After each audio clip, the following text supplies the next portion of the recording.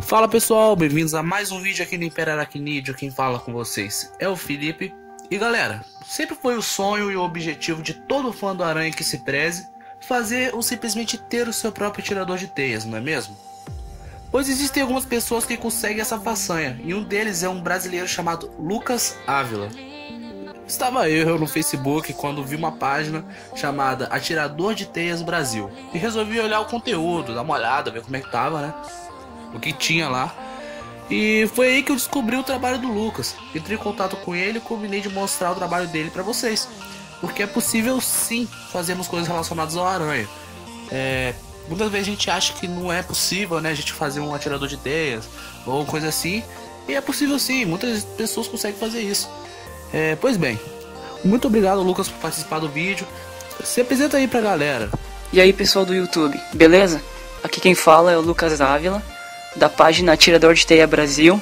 E hoje o vídeo é comigo. Vou estar tá contando um pouco mais sobre meus atiradores e meus projetos. E é isso aí. Valeu. Então, separei algumas perguntas pra gente entender melhor o seu trabalho. Então, o que te motivou a fazer esses atiradores? O que me motivou a fazer os atiradores foi que eu sempre gostei de inventar coisas, saber como elas funcionavam, desmanchar, desde pequeno. Mas foi com 13 anos, no ano de 2002, estava passando as férias na casa do meu avô e por ele ser projetista, engenheiro de máquinas que construíam armas de fogo, ele tinha um quadro num quarto.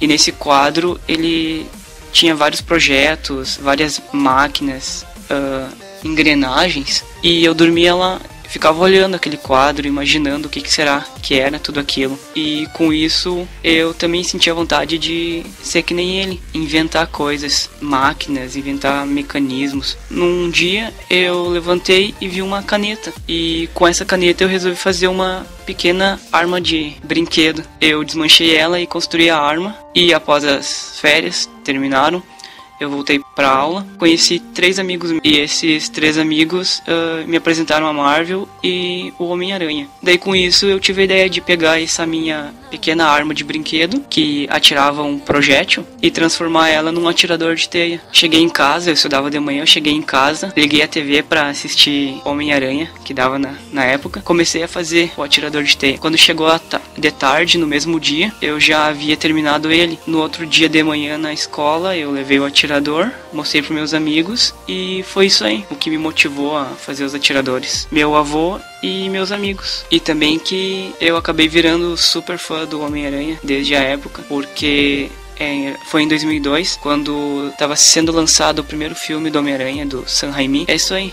Você pretende um dia comercializar esses atiradores? Claro que eu pretendo comercializar. Isso é uma ideia já bem antiga, de uns anos atrás, que pessoal tinha grande, um grande número de pessoas pedindo e, e querendo comprar até atiradores de mim, me oferecendo 50, o máximo que já me ofereceram foi 100 reais. Na época da escola, um colega meu me ofereceu 50 reais por um protótipo que eu tinha feito. Se não me engano, foi o atirador número 5. Mas comercializar sempre foi um sonho e também que é uma ideia legal para que todos possam sentir aquele gostinho de ser o Homem-Aranha, de lançar teia e tal. Até tem até um projeto de um kit de atirador que seria um atirador simples e duas cápsulas. Viria junto à pulseira, custaria em torno de 40, 60 reais o atirador simples. Mas essa ideia tá de pé ainda, comercializar os atiradores que eu faço.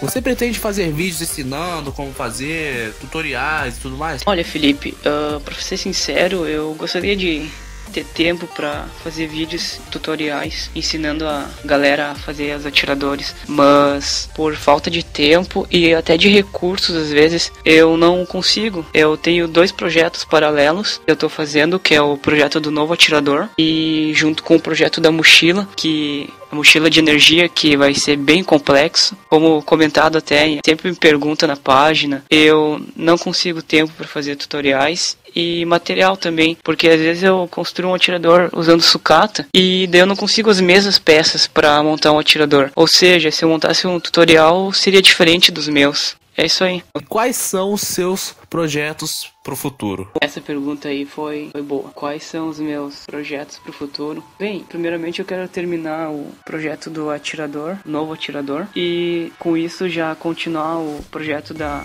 mochila de energia, que eu comecei faz alguns dias, sendo que vai ser um projeto bem complexo, já que ela vai ter alguns circuitos bem robustos, que vai ser um circuito de circuito de no break com carregador ligado direto numa bateria, usando a tomada para carregar a mochila, um circuito de bateria dupla, que esse circuito já está pronto, circuito do no break também, um sistema de refletores com luzes de LED, vários conectores e entradas tanto dupla, entrada tripla, como USB e uma luz central indicando que a mochila está ligada. Tem até uma imagem na página oficial do projeto, que é a página Atirador de Teia Brasil, www.facebook.com/webshooterproject e vários sistemas também, é, alguns circuitos novos que eu quero colocar na mochila, um sistema de chave de segurança para ligar ela com que só eu posso ligar a mochila. E quem sabe um sistema de modo noturno para servir de camuflagem. E também alguns outros projetos, uma central de comando para usar num bracelete junto com um sistema de proteção, um escudo expansivo. E também é claro tentar avançar mais e mais nos atiradores, fazer eles ficarem totalmente autônomos e com um desempenho maior e melhor, lançando mais teia e funcionando de uma forma mais automática. Mas isso vocês vão ficar sabendo conforme eu for postando na página. É só ficar curtindo e acompanhando as postagens. É isso aí, valeu. Então você pretende fazer também um traje completo do Aranha, né? Com todos os poderes dele. Fazer também o fluido de teia, botas e luvas aderentes também? Bem, Felipe, uh, um traje completo do Aranha não seria uma resposta certa, mas sim um traje alternativo, usando uns equipamentos, acessórios que eu tiver a ideia para fazer e que eu tenho anotado no meu caderno de projetos. Já sobre fazer um fluido, eu até tenho algumas ideias, umas fórmulas anotadas no caderno de projetos e só tenho que esperar mais um tempo para me aprofundar no assunto. Mas isso de fazer um fluido de teia vai ser o ápice do atirador, digamos o, a etapa final. Até porque o desafio no web não é fazer a teia que seca em contato com o ar, o fluido. Acredito que isso seja fácil de fazer. Afinal, já vi vídeos que crianças de 13 e 14 anos estavam fazendo. O grande desafio é na eletrônica atual, a eletrônica do nosso tempo e na mecânica de fazer o fluido sair em forma de uma linha, indo ao longe. Já sobre as luvas de aderência, eu tenho algumas teorias e ideias no papel, mas não passam de projetos no papel mesmo.